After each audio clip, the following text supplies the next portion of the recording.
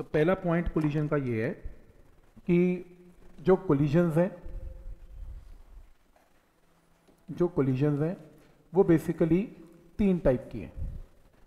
एक टाइप की कोलिजन है जिसमें एनर्जी का लॉस बिल्कुल भी नहीं है। बिल्कुल भी एनर्जी लॉस नहीं है। आफ्टर कोलिजन और before collision kinetic energy same रहती है। और एक टाइप की कोलिजन है जिसमें एनर्जी का लॉस है। तो दो ही चीज़ें हो सकती हैं। या तो एनर्जी का लॉस नहीं होगा या एनर्जी का लॉस होगा। अगर तो एनर्जी का लॉस नहीं हुआ, बिल्कुल भी नहीं हुआ तो उस कोलिजन का नाम है परफेक्टली इलास्टिक कोलिजन या सिंपली इलास्टिक कोलिजन एक ही बात है। तो अगर आपका एनर्जी का लॉस कोलिजन में नहीं हुआ तो कोलिजन का नाम है इलास्टिक कोलिजन या परफेक्टली इलास्टिक कोलिजन और अगर लॉस हुआ तो उसमें उसका नाम है इन इलास्टिक कोलिजन या परफेक्टली इन इलास्टिक कोलिजन फ़र्क सिर्फ़ ये है इन दोनों में इन इलास्टिक कोलिजन में टक्कर होती है और सेपरेशन हो जाती है। एनर्जी का लॉस तो होता है। परफेक्टली इन इलास्टिक कोलिजन में टक्कर होती है, पर बॉडीज चिपक जाती हैं, चिपक के इकट्ठी आगे चलती हैं, उनकी सेपरेशन नहीं होती। तो बस इतना फ़र्क है, पर एनर्जी का लॉस दोनों में होता है। तो तीन किस्म की कोलिजन हम यहाँ पर स्टडी करने वाले हैं।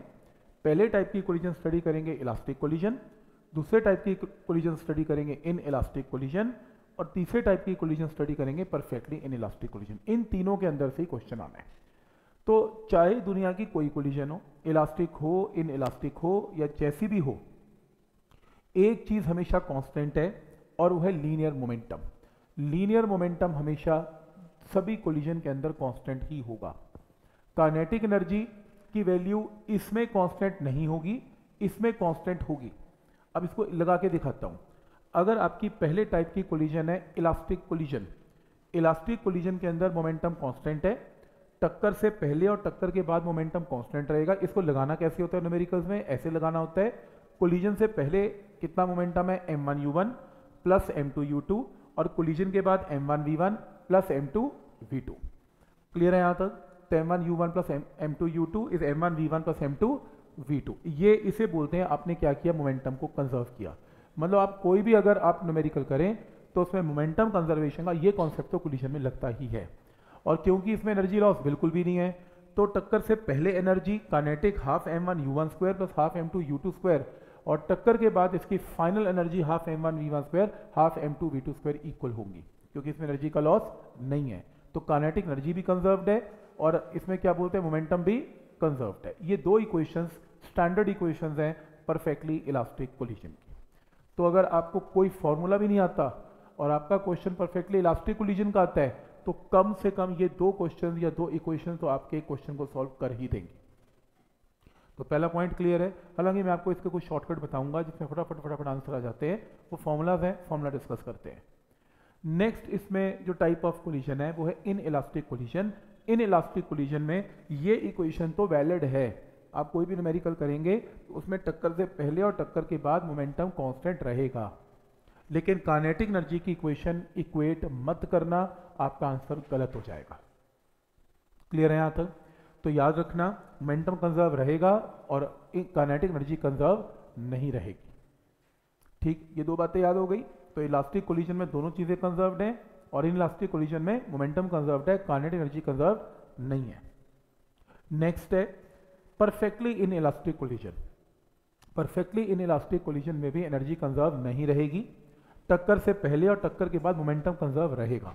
मतलब कि टक्कर से पहले momentum m one u one है और इसका ज़ीरो है मान लो और बुलेट इसके अंदर घुस गई एम्बेड हो गई और दोनों इकट्ठे मूव कर रहे हैं। दोनों इकट्ठे मूव कर रहे हैं और जब दोनों इकट्ठे मूव कर रहे हैं they are moving with a common velocity तो टक्कर से पहले मोमेंटम क्या है? M one u one plus zero और टक्कर के बाद क्या है m one plus m two into v common तो यहाँ से वी कॉमन आएगा। बहुत क्वेश्चन आते हैं इसके ऊपर कि एक बुलेट ने ब्लॉक को हिट किया, फिर दोनों इकट्ठे मूव करने शुरू हो गए। तो कोलिजन से पहले momentum m one u one है और इसका ज़ीरो है। कोलिजन के बाद common momentum m one plus m two into v common है। तो यहाँ से वी कॉमन निकाला जाता है। तो आपके पास कुल मिला के बस ये तीन कैटेगरी का ही क्वेश्चन आएगा। या तो इलास्टिक आएगा या इन आएगा। या परफेक्टली इन आएगा। और तीनों में मोमेंटम तो कांस्टेंट है ही है। तो पहला कॉन्सेप्ट तो ये हो गया। तो अगर कुछ ना आएगा तो कम से कम मोमेंटम तो कंजर्व कर ही पाएँगे। पर इससे बात बनेगी नहीं, आपके ऑब्जेक्टिव हो नहीं पाएँगे। आपको कुछ टेक्निक सीखनी पड़ेगी हर कोलिजन की, और मैं आपको टेक्निक सिखाता हूँ हर कोलिजन की क्या टेक्निक है। तो सबसे पहले हम कोलिजन को ऐसे स्टडी करेंगे कि collision elastic inelastic perfectly inelastic study करेंगे। इलास्टिक कोलिजन में दो बॉल्स आएँगी और एक एक्सिस पे आएँगी, एक एक्सिस पे सेपरेट हो जाएँगी। इसे बोलते हैं elastic collision in one D और टू डी कोलिजन में एनर्जी लॉस नहीं है, अभी भी इलास्टिक है। बॉल्स आएँगी, पर एक इधर जाएगी प्लेन में एक इधर जाएगी तो एक्स वाई प्लेन में मूव करेगी। इसे बोलते हैं elastic collision in two D और ऐसी inelastic collision one D two D में, इन इलास्टिक कोलिजन के अंदर वन डी और टू डी के अंदर बेसिकली क्या होगा? वन डी कोलिजन में क्या होगा इसमें?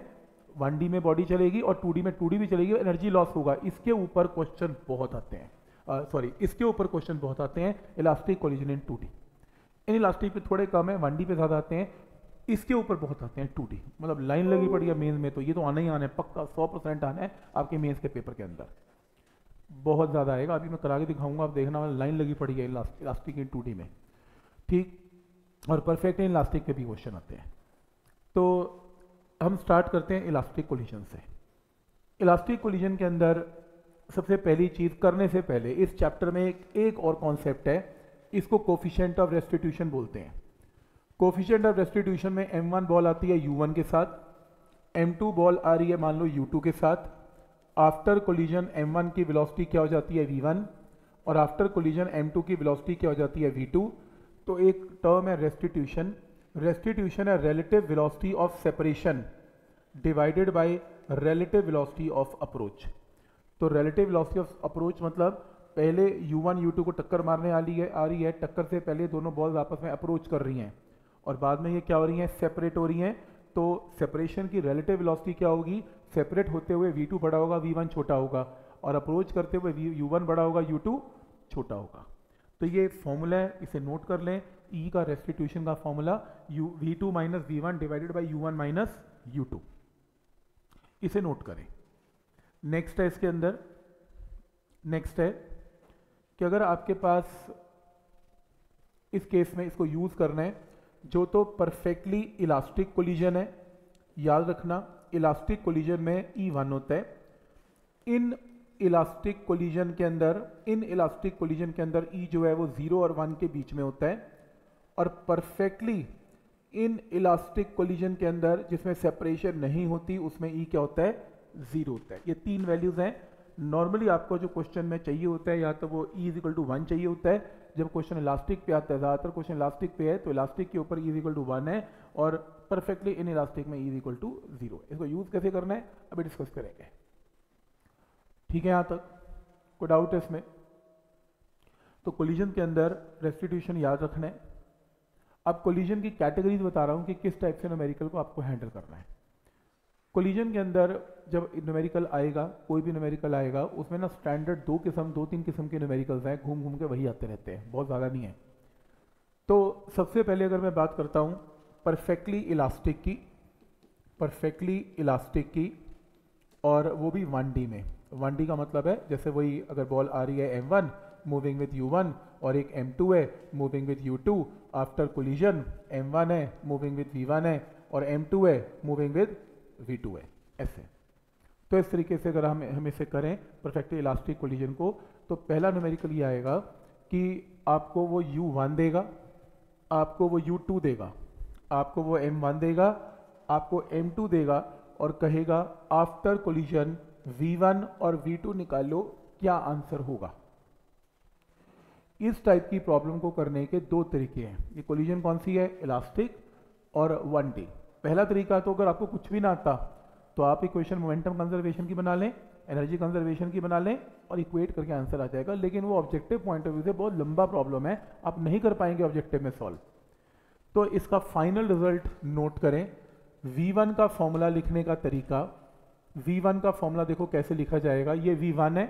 तो ये वन से स्टार्ट करें। M one minus m two यहाँ पर लिखें m one plus m two यहाँ पर भी लिखें m one plus m two ऐसे m one plus m two ये यू वन है तो ये क्या आएगा?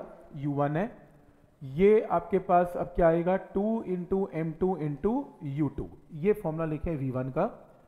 और वी टू के फॉर्मूले में भी ऐसे लिखें m two minus m one divided by m one plus m two क्योंकि ये V2 है तो ये U2 आएगा। और ये आएगा two m one into u one divided by m one plus m two ऐसे ये दो फॉर्मूलाज याद कर लें। इन दो फॉर्मूलाज में स्ट्रेट अवे बस u one u two put करें, आपका आंसर आ गया, बात ही खत्म हो गई। ये सबसे आसान कैटेगरी ऑफ़ क्वेश्चन है। क्लियर है यहाँ तक? बिल्कुल ऑब्जेक्टिव में लगता है ये फॉर्मूला बहुत लगता है। यही लगता है। मतलब अगर मुझे को इलास्टिक कोलिजन कोई दे और मेरे से पूछे वन डी कोलिजन है? मैं तो लगाऊँगा ये। मतलब कौन ही इतना वहाँ मोमेंटम कंजर्वेशन करता रहेगा बैठ के, बस सीधा डन और एक खास बात है, ये चारों बॉल्स की वेलोसिटीज मैंने राइट माननी है। अगर इन दोनों में से किसी भी बॉल की वेलोसिटी लेफ़्ट है हेड ऑन कोलिजन है तो वहाँ पर U1 या U2 में जो भी नेगेटिव उसमें नेगेटिव पुट करना पड़ेगा। अगर बॉल मान लो ये वाली बॉल इधर आ रही है लेफ़्ट आ रही है तो U2 जहाँ जहाँ U2 है, वहाँ माइनस में पुट करना पड़ेगा नेगेटिव में पुट करना पड़ेगा। तो ये ये फॉर्मूला में सब कुछ पॉजिटिव चलेगा। जब तक बॉल राइट जा रही है, अगर एक भी बॉल लेफ़्ट आ गई तो वो नेगेटिव साइन के साथ आएगा। ठीक, यहाँ तक क्लियर है कि कैसे करना है?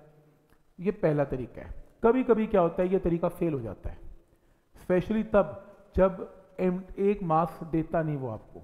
जैसे एग्ज़ाम्पल है, ये तो नॉर्मल मतलब ये तो तब फॉर्मूला चलता है, चारों चारों वैल्यूज़ गिवन है आंसर डन हो गया। जब आपको क्वेश्चन में ऐसे देगा, एक दीवार है वॉल है, और एक बॉल है बॉल है तो बॉल आ रही है with the velocity of human इसका मास m1 है, पर दीवार का मास थोड़ा देगा वो आपको। और हेड ऑन कोलिजन के बाद वो वापस जा रही है। और इधर से मान लो दीवार भी चल रही है बॉल भी चल रही है, दीवार भी चल रही है, चलती दीवार का टक्कर हो गई। अब दीवार का तो मार्क्स गिवन नहीं ना। और तुमसे पूछेगा बॉल की फाइनल वेलोसिटी क्या है? वी वन वी टू निकालो। तुम कर नहीं पाओगे। ये फॉर्मूले में तुम्हें मार्क्स ही नहीं पता। तो फिर तुम्हें काम करना, तुम यहाँ पर नेक्स्ट कॉन्सेप्ट लगाना। कोई फॉर्मूला चलेगा नहीं। तुम यहाँ पर लगाना रेस्टिट्यूशन का formula v two minus v one u one minus u two और परफेक्टली इलास्टिक कोलिजन में ई e को क्या पुट कर देना वन क्योंकि रेस्टिट्यूशन का कॉन्सेप्ट में मासेस चाहिए ही नहीं होते आंसर आ जाएगा। तो अगर तुम्हें मास नहीं गिवन और इलास्टिक कोलिजन देती तो और कोई तरीका ही नहीं है। बिना मास का फॉर्मूला कौन सा है? एक ही फॉर्मूला रेस्टिट्यूशन तुम ई e को वन पुट कर देना आंसर आ जाएगा। पॉइंट समझ में आ रहा है यहाँ तक कि क्या लॉजिक लगेगा इसमें फिर? ठीक है। दीवार का मास गिवन नहीं होगा ऐसे क्वेश्चन में। तुम्हें अगर दोनों मासेस गिवन है, फिर ये मत हाँ तभी लगा लो। नहीं, ये फॉर्मूला तो हमेशा, ये तो यूनिवर्सल फॉर्मूला लगा लो। कोई प्रॉब्लम नहीं है। फिर तुम्हें इसमें u1 देगा u2 देगा और e देगा तो v2 टू माइनस वी निकाल लेना। पर तुमने तो v2 v और v1 पूछा होगा ना, तुम्हें मास तो चाहिए होगा। अच्छा तुम लगा लेना, तुम लगा लेना, मैंने मना ही नहीं किया, तुम लगा लेना। ठीक है, तुम ये लगा लगा के निकाल सकते हो वी टू वी वन निकाल लेना, निकलेगा ही नहीं। वी वन वी टू के फॉर्मूले से निकलेगा। ठीक है तो मैं तो मैं तुम्हें टेक्निक बता रहा हूँ, मैं तुम्हें हथियार दे रहा हूँ कि ये हथियार यूज़ कर लेना, बस, जब ये सिचुएशन आएगी। तो मैं तुम्हें बता दिया, अगर पहला नहीं चलेगा तो दूसरा पक्का चलेगा। और अगर दोनों नहीं चलेंगे तो यार वो तो यूनिवर्सल है ही है। मोमेंटम कंजर्व कर लो कहानेटिक एनर्जी कंजर्व कर लो, वहाँ से तो आंसर पक्का आएगा ही आएगा। बात ही खत्म है। क्लियर है यहाँ तक? तो परफेक्टली इलास्टिक कोलिजन वन में कैसे चलती है, बात समझ में आती है? अभी तक कौन सी की है? Perfectly elastic collision in one की है। Perfectly elastic collision in one के अंदर, इसके अंदर ये सारा कुछ मैंने आपको बता दिया रेस्टिट्यूशन ये वो सब हो गया। आपको बस एक चीज़ देखनी है इसमें, इसको जब आपने लगाना है तो इसमें ना एक स्पेशल रिज़ल्ट है सच, कि अगर दो बॉल्स हैं, यहाँ तक मैंने बता दिया आपको, अगर दो बॉल्स हैं जिनकी टक्कर हो रही है, और perfectly elastic collision and one और दोनों बॉल्स का मास बराबर है, दोनों बॉल्स का मास बराबर है तो फिर अगर मास बराबर है तो एक शॉर्टकट रिज़ल्ट आएगा शॉर्टकट रिज़ल्ट ये आएगा, अगर मासेस बराबर हैं और टक्कर के बाद वेलोसिटीज इंटरचेंज हो जाती हैं। जैसे टक्कर से पहले टेन और फाइव है, टक्कर के बाद क्या हो जाएगी? फाइव और टेन हो जाएगी। पूरा वेलोसिटी वेक्टर ही एक्सचेंज हो जाता है। ये याद रखना। कब? जब ये कोलिजन क्या है? परफेक्टली इलास्टिक है। इन इलास्टिक में नहीं चलता। इलास्टिक है और वन डी है। तो मासेज वेलोसिटीज एक्सचेंज हो जाएँगी। जैसे टक्कर से पहले वेलोसिटी 10 और 5 इन ऑपोजिट डायरेक्शन है। टक्कर के बाद ये पाँच लेफ़्ट की तरफ़ जाएगी और 10 राइट की तरफ़ जाएगी। तो ऐसे याद रखना है, जैसे टक्कर से पहले 10 और ज़ीरो है, टक्कर के बाद ज़ीरो और 10 हो जाएगा। तो वेलोसिटीज इंटरचेंज हो जाएँगी, अगर इस तरीके से होगा। कोई डाउट इसमें। ठीक। नेक्स्ट है। अब इलास्टिक कोलिजन इन वन हमने किया। इलास्टिक कोलिजन इन वन के अंदर, जैसे सपोज़ बॉल जिसका मास पॉइंट वन के है makes head on collision with a ball of unknown mass तो एक बॉल है जिसका मास आपको गिवन है और एक अननोन मास है रेस्ट पे पड़ा हुआ है। तो बॉल जिसकी वेलोसिटी मान लो यू है, वो रेस्ट पे है तो यू टू क्या होगा? ज़ीरो वो कह रहे हैं पॉइंट वन के जी रीबाउंड पॉइंट वन की टक्कर के बाद रीबाउंड हो जाती है with one third of the original speed one third u से गई थी तो यू बाई थ्री से वापस आ गई। तो क्वेश्चन है एम टू बोलो क्या होगा? क्वेश्चन है। तुम्हें अब ये पता है यू वन पता है यू टू पता है, तुम्हें वी वन भी पता है। तो अब तुम कुछ मत करो, तुम वी वन का बड़ा सा फॉर्मूला लिख लो। इस बड़े से फॉर्मूले में यू टू को ज़ीरो पुट कर दो। अब जब तुम वैल्यूज़ पुट करोगे, क्योंकि ये बॉल रीबाउंड हुई थी, इसने डायरेक्शन चेंज की थी तो इसकी वैल्यू यहाँ पर minus u by three put करना। फ़र्स्ट बॉल की वेलोसिटी यू है और फाइनल वेलोसिटी इसकी माइनस यू बाई थ्री है। एक मार्क्स आपको पता दूसरा अपने आप आ जाएगा आंसर तो ये यूज़ करने का तरीका है, इस फॉर्मूले को यूज़ कैसे करना है? पॉइंट समझ में आ रहा है यहाँ तक? आप कर सकते हैं, अगर, लेकिन रेस्टिट्यूशन के फॉर्मूला यूज़ करके फ़ायदा नहीं होगा, क्योंकि तुम्हें तो मास निकालना है। रेस्टिट्यूशन में मास ही नहीं आ रहा। बिल्कुल कर सकते हैं। पर फिर तुम्हें V2 to minus v one पता लगेगा। तुम करके देख लेना, तुम्हें शायद लग रहा है कि हो जाएगा, लेकिन होगा नहीं। अगर ऐसा होता, हम सारे क्वेश्चन प्लस वन में ना रेस्टिट्यूशन सॉल्व कर देते। हैं ये फॉर्मूले बनते ही ना। ठीक? चलो, तुम करके देख लेना, फंस जाओगे तो पता लग जाएगा अभी। नेक्स्ट है नेक्स्ट क्वेश्चन के अंदर एक बहुत ही फ़ेमस क्वेश्चन है, ये वाला क्वेश्चन है, ये तो बहुत ही ज़्यादा इंपॉर्टेंट है कि अगर मान लो एक इलास्टिक कोलिजन है इन वन डी इसका मास एम है, इसका मास के टाइम्स एम है। अब के टाइम में कभी वो न्यूमेरिकल चेंज करता रहेगा, कभी दस टाइम बारह टाइम पंद्रह टाइम कभी कभी के की वैल्यू हाफ़ भी लेगा वन कुछ भी के टाइम एम है तो वो रेस्ट पे पड़ा हुआ है। और टक्कर के बाद इसकी velocity V one V two है। क्वेश्चन है, कितनी फ्रैक्शन ऑफ़ एनर्जी इसने इसको ट्रांसफ़र कर दी ये बताओ।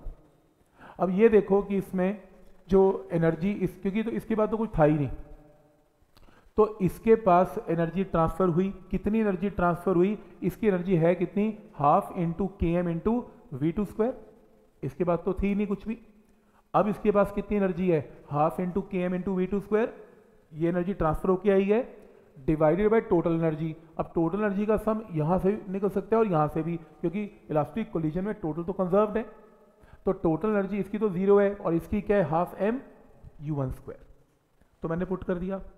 तो फ्रैक्शन ऑफ़ एनर्जी ट्रांसफ़र में इसकी energy divided by total energy की तो यहाँ से एम से एम कैंसिल हाफ़ से हाफ़ कैंसिल वी टू आ गया। अब वी टू का एक बड़ा सा फॉर्मूला इलास्टिक कोलिजन में हमें ऑलरेडी आता है।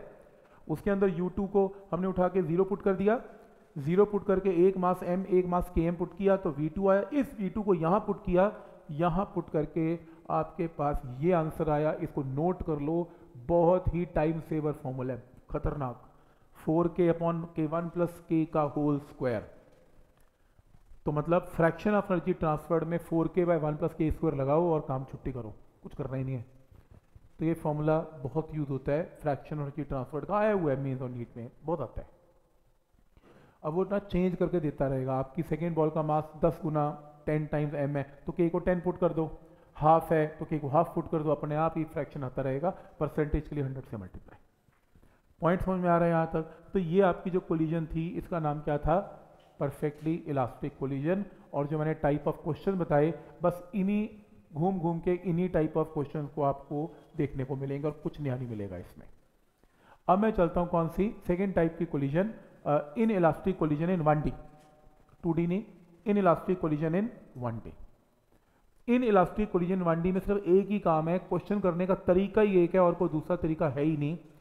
वो ये, जब आपको inelastic collision in one D आएगा, इसका कोई फॉर्मूला नहीं है। इसके सिर्फ़ दो चीज़ें हैं, और आपको क्वेश्चन वही है, टक्कर से पहले बॉल की वेलोसिटी टेन है, टक्कर के से पहले पाँच है यू वन यू टू दी है टक्कर के बाद वी वन वी टू निकालो। क्वेश्चन वही है इलास्टिक वाला। फॉर्मूला नहीं है कोई भी।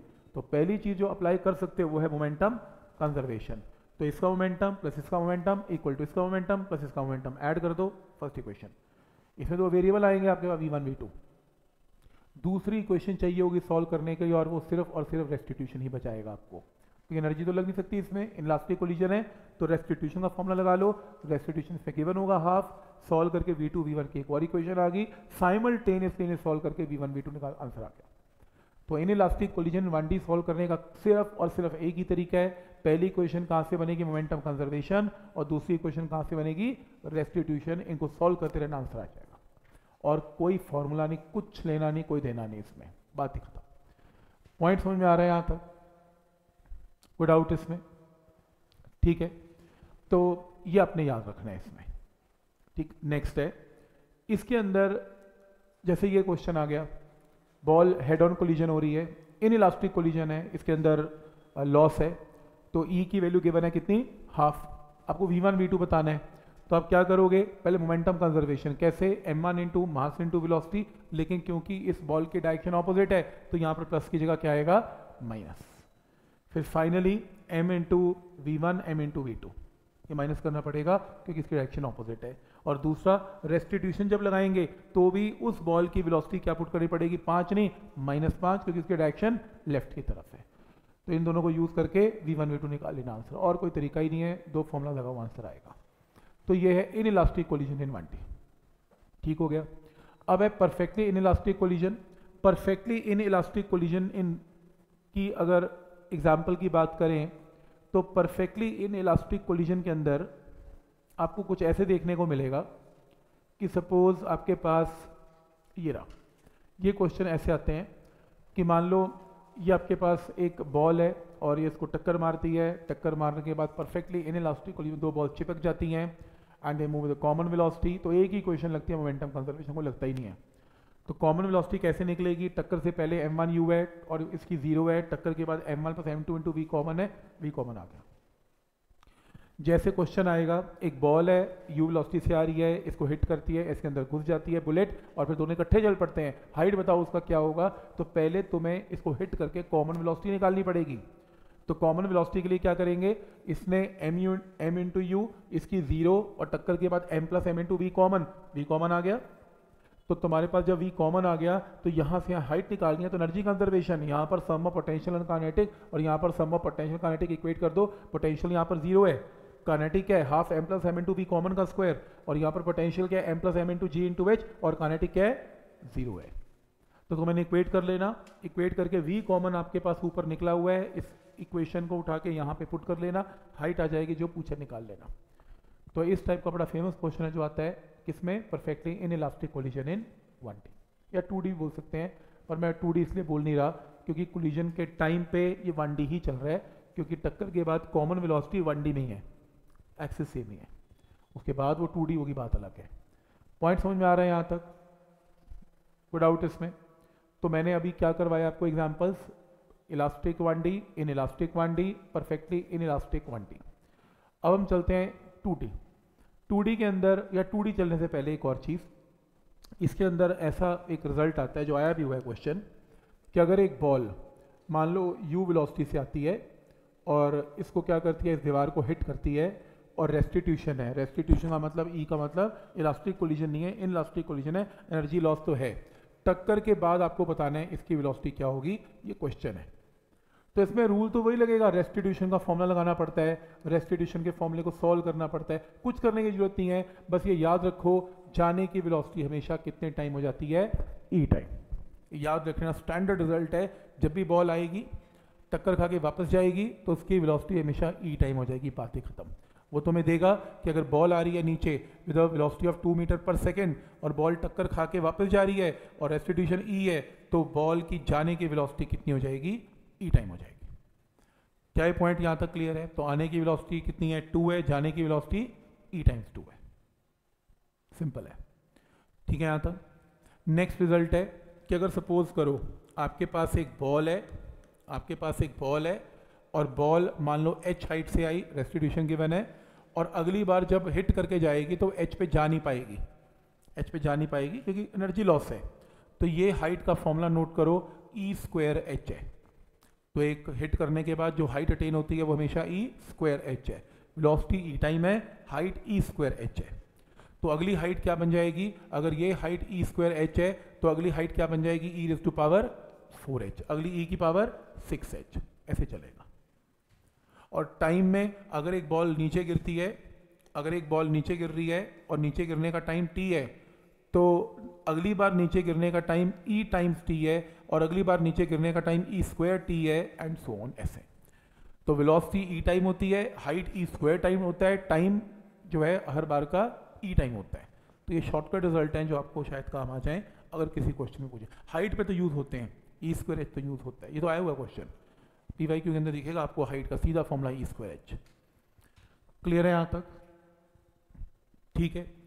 अब हम चलते हैं कौन सी collision elastic collision in two D elastic collision in two के अंदर एक ही रूल है, बहुत भर के क्वेश्चन आ रहे हैं। मैं पहले ही बता दूँ आपको लाइन लगी पड़ी है। अभी जो करने वाले हैं, आपको पता लग ही जाएगा कि कोलिजन में या तो मतलब इलास्टिक ज़्यादा आ रहा है इन इलास्टिक से भी।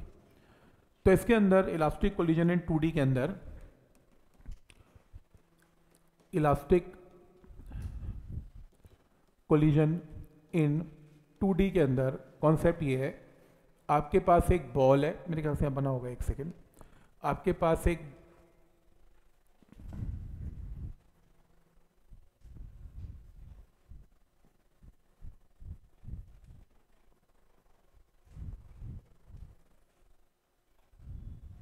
ये देखो, आपके पास क्या है? एक बॉल है M one moving with velocity of U one ये ऐसे आ रहा था, और ये ना हॉरिजॉन्टल टेबल है, ऐसे नहीं है, ऐसे टक्कर ऐसे जा रही हैं बॉडीज़ उड़ के नहीं जा रही, ये मतलब टॉप व्यू है, इसको ऐसे बना रखा है। तो एम वन यू वन के साथ आ रहा है और एम टू किस पे पड़ा हुआ है? एट रेस्ट टक्कर होती है। टक्कर के बाद ये चला जाता है वी वन ये चला जाता है वी टू के साथ. At an angle of theta one and theta two तो इसका मोमेंटम क्या है? एम वन वी वन इसके दो कॉम्पोनेंट्स ले लो. M one V one cos theta one M two V two cos theta one ऐसी एम टू वी टू के component ले लो. M two V two cos theta two M two V two sine theta two तो आप इसमें ऐसे कर सकते हैं। अगर बना के दिखाना है, बना के भी दिखा देता हूँ। ये देखो ये मान लो एम वन है मूविंग विद यू वन है, ये री बॉल एम टू और एम टू किस पे पड़ा हुआ है? एट रेस्ट तो इस क्वेश्चन के अंदर आपको ये गिवन है कि टक्कर के बाद m1 इधर चला गया और टक्कर के बाद m2 इधर चला गया। तो जो m1 है m1 है, वो मूव कर रहा है with the velocity of v1 और जो m2 है, वो मूव कर रहा है with the velocity of v2 और इनका जो एंगल है, इनका जो एंगल है, वो गिवन है थीटा वन एंड थीटा ऐसे ठीक है? टक्कर के बाद। तो आपने क्या करना होता है इस टाइप की प्रॉब्लम में? आपको एक काम करना है इसमें। M2 टू के दो कंपोनेंट बनाने हैं। एक कंपोनेंट एक्स में और एक कॉम्पोनेंट आपने कहा बनाना है? Y में। तो क्या बनेगा? M2 V2 cos of theta two और इस तरफ़ क्या बनेगा? M2 V2 cos of sorry M2 V2 M2 V2 sine of theta two ऐसे। ठीक? ऐसे बनेगा। और ऐसी M1 V1 के कंपोनेंट भी ऐसे बनेंगे। एक कॉम्पोनेंट यहाँ बनेगा, एक यहाँ बनेगा। और इस कॉम्पोनेंट में इसकी जो वैल्यू होगी M one V one sine of theta one होगी। और इस तरफ़ क्या होगी? M one V one cos of theta one होगी। ऐसे। ऐसे होगा। ठीक है यहाँ तक? तो ये आपके पास चीज़ें बनेंगी। ऐसे बनेगा कॉम्पोनेंट्स तो जब आपके पास ये डायग्राम बनेगा तो आप इसमें इमेजिन करें ना कि आपने इसके कॉम्पोनेंट्स तो बना ही लिए। तो ये रख के आपको बिल्कुल भी फ़ायदा नहीं है। मैं इसको भी हटा रहा हूँ। ये लो जी। ये मैंने इसे हटा दिया। ये रहा। ये मैंने इसे हटा दिया। ये रहा। ऐसे। ये क्या? ठीक। तो अब क्या होगा? अब क्योंकि मोमेंटम हमेशा कांस्टेंट है इन टाइप की कोलिजन में तो कोलिजन से पहले मोमेंटम इस बॉल का कितना है? एम वन यू वन और इसका कितना है? ये रेस्ट पे पड़ी हुई है। ज़ीरो मैं एक्सेस क्या ले रहा हूँ? X access. आपने एक्स में अलग कंजर्व करना है, आपने वाई में अलग कंजर्व करना है। तो टक्कर से पहले इसका momentum M one U one इसका ज़ीरो और टक्कर के बाद इसका मोमेंटम कितना है? M one V one cos of theta one और इसका कितना है? M two V two cos of theta two ऐसे इक्वेशन नंबर वन तो मोमेंटम कंजर्व है, टक्कर से पहले एक्स में मोमेंटम टक्कर से बाद एक्स के अलॉन्ग मोमेंटम की वैल्यू सेम है। उसी तरीके अगर, से अगर वाई एक्सिस की बात करते हैं, टक्कर से पहले वाई में ये मूव ही नहीं कर रहा। और ये तो वैसे ही रेस्ट पे है। तो टक्कर के बाद इसका मोमेंटम वाई में कितना है? M one V one into sine of theta one plus minus M two V two into sine of theta two ऐसे, बस। ये इक्वेशन से जो आंसर आना है आंसर आएगा। इसे बोलते हैं मोमेंटम कंजर्व किया। बहुत सारी प्रॉब्लम ऐसे सॉल्व हो जाएँगी आपकी। तो आपको ये कॉम्पोनेंट्स में ड्रॉ करना आ गया। और एक्स का मोमेंटम और वाई का मोमेंटम अलग से कंजर्व करना आ गया। और अगर ये बात नहीं बनी इसमें, एक और इक्वेशन बन सक, बन सकती है, क्योंकि इलास्टिक कोलिजन है। इसमें कोई एनर्जी लॉस तो है नहीं। टक्कर से पहले एनर्जी इतनी है फ़र्स्ट बॉल की सेकेंड की तो है ही नहीं। और टक्कर के बाद half M one V one square half into M two into V इसको कॉम्पोनेंट्स में लेने की ज़रूरत नहीं। एनर्जी स्केलर है सिंपल ऐड कर दो आंसर तो अगर मोमेंटम से बात नहीं बनी तो ये इक्वेशन तो आपको पक्का हेल्प करेगी। और आज हम इसके ऊपर क्वेश्चन करने वाले हैं। एक शॉर्टकट रिज़ल्ट है इसमें। अगर इनकी कोलिजन हो रही है टू में और मासेस बराबर है मास मान लो बराबर है तो अगर मास मान लो बराबर है एम मास आ रहा है किसी वेलोसिटी के साथ और एम मास किस पे पड़ा हुआ है? एट रेस्ट तो ये बॉल यहाँ जाएगी एम और एक बॉल यहाँ आएगी एम रिज़ल्ट ये है कि they will always be separated by an angle of 90 ये रिज़ल्ट है। तो ये 90 डिग्री पे ही सेपरेट होंगे, ये याद रखना। तो कब? लेकिन हमेशा नहीं। कब जब दोनों बॉल्स का मास सेम है तो सेपरेशन 90 पे होती है। और ये भी कंडीशन है second ball must lie at rest टक्कर से पहले रेस्ट पे होनी ज़रूरी है तब। एक ही स्पेशल केस है। तो क्लियर है यहाँ तक? तो ये आपकी कौन सी कोलिजन हुई? ये आपकी कोलिजन होगी इलास्टिक कोलिजन इन टू और लास्ट कोलिजन है आपकी inelastic collision in two inelastic collision in two के अंदर क्या करना है इसमें? बस सेम ऐसे ही कोई कॉन्सेप्ट इसमें रेस्टिट्यूशन यूज़ करना है, उसके अंदर ट्राई करते हैं। ठीक, इसके अलावा और कुछ पढ़ने की ज़रूरत नहीं आपको। जो मैंने आपको बताया अभी मतलब मेरे ख्याल से मैं इसके अलावा कुछ यूज़ करने वाला हूँ ही नहीं इसमें ऑब्जेक्टिव में। ठीक तो लास्ट है लास्ट कॉन्सेप्ट है इसमें inelastic collision in two D तो इसके अंदर इन इलास्टिक कोलिजन के अंदर कुछ ऐसा केस है। मान लो एक बॉल है और ये एक दीवार है। तो ये बॉल आई, यहाँ से टक्कर हुई वी वन के साथ आई वी टू के साथ चली गई थीटा एंगल पे आई थीटा वन एंगल पे आई थीटा टू पे चली गई। तो आपने इसको एक्सटेंड कर लेना है ऐसे ऐसे। एम वी वन इसका इनिशियल मोमेंटम है M V two final momentum है। एम वी वन के दो कॉम्पोनेंट बनाने हैं M V one sine theta one M V two cos theta M V one cos theta one और ऐसी M we two के दो कॉम्पोनेंट है, एक थीटा टू के साथ M V two cos theta two और M V two sine theta two आपने जब मोमेंटम कंजर्व करना है इसमें, अब क्योंकि मोमेंटम तो कंजर्व होता है इसमें मोमेंटम कंजर्वेशन जो आपने लगानी है, वो इन मोमेंटम्स पे नहीं लगाना जो इस वॉल के परपेंडिकुलर है, नहीं लगता। वॉल के अलोंग लगता है। तो टक्कर से पहले और टक्कर के बाद ये मोमेंटम्स आपस में सेम ही होंगे इक्वेशन नंबर वन वॉल्स के अलोंग जहाँ टक्कर हो रही है, उस वॉल के अलोंग मोमेंटम कंजर्व होता है। इसमें नहीं होता। आप ये देखें, मान लो ये बॉल आ रही है विद दिस मोमेंटम और जाने का मोमेंटम ये है, आज हमने क्या डिस्कस किया था कि अगर बॉल आती है विद वेलोसिटी ऑफ़ वी टक्कर के बाद वो कितनी वेलोसिटी से वापस जाती है? ई टाइम्स वी तो मोमेंटम भी ऐसे ही होगा।